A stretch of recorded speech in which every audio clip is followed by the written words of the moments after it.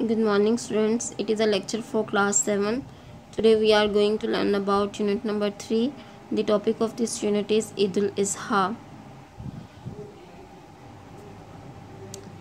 A festival एक त्यौहार और a cultural event और एक सकाफती मौका is a celebration मनाया जाता है of an association to create a sense of brotherhood भाईचारा शाउर को शाउर पैदा करने के लिए भाईचारे का सेल्फनेसनेस सेल्फलेसनेस बेगर्जी का पीस अमन का एंड सेक्रीफाइस और कुर्बानी का। कुर्बानी का बेगर्जी का और अमन का जज्बा पैदा करने के लिए त्यौहार और सकाफती इवेंट सेलिब्रेट किए जाते हैं मनाए जाते हैं अमंग दी पीपल लोगों के दरमियान।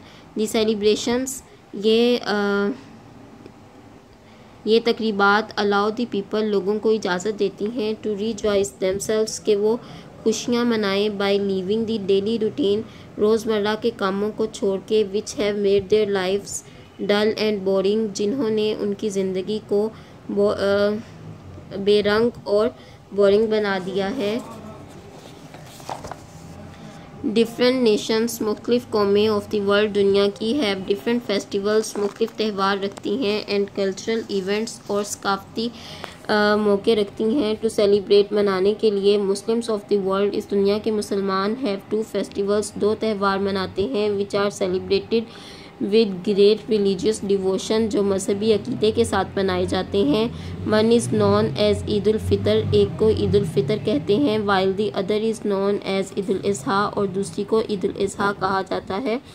वैन दी रसूल सल्लल्लाहु अलैहि जब हज़रत मोहम्मद सल्लल्लाहु अलैहि वसल्लम रीच्ड पहुँचे मदीना मुनव्वरा मदीना मुनव्वरा में आफ्टर लिविंग मक्का मुकरमा मक्का मुकरमा छोड़ने के बाद पीपल टोल्ड हिम तो लोगों ने उनसे कहा that they use to celebrate two festivals every year के वो हर साल दो त्यौहार मनाते हैं। दी रसूल्स आस्ट हिम हज़रत मोहम्मद सल्लल्लाहु अलैहि वसल्लम ने उनसे पूछा should I give you better festivals क्या मैं तुम लोगों को बेहतर त्यौहार दूँ टू सेलिब्रेट मनाने के लिए एवरी ईयर हर साल?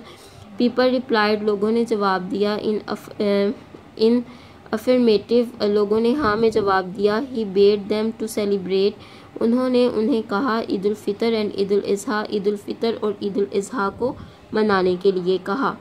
ठीक है बेटा, ये थ्री पैसेज हैं। आपने इन्हें ट्रांसलेट करना है एज अ होमवर्क और डेट एंड डे मेंशन करनी है मार्जिन लाइन ड्रा करनी है और आफ्टर डैट आपने in a neat hand writing में अपना होमवर्क करना है।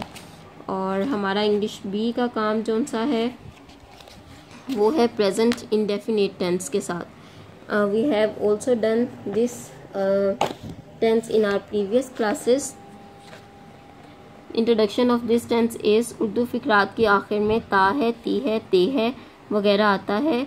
In English we use first form of verb and we use S E S with he she it and in case of singular subjects also followed by S and E S the verbs ending on double S C H C H X and O are followed by ES and others are followed by S.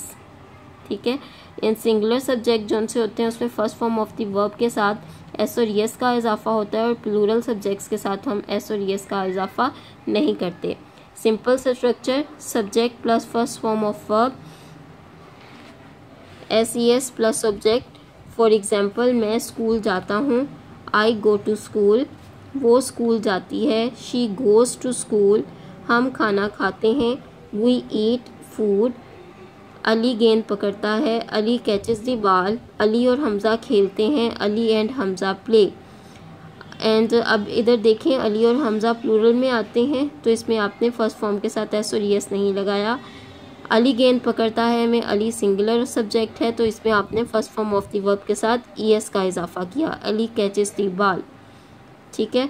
Okay student you will also write the introduction of present indefinite tense on your notebook and prepare your page according to the rules date mention date and day draw margin line and after that do your work in a neat handwriting thank you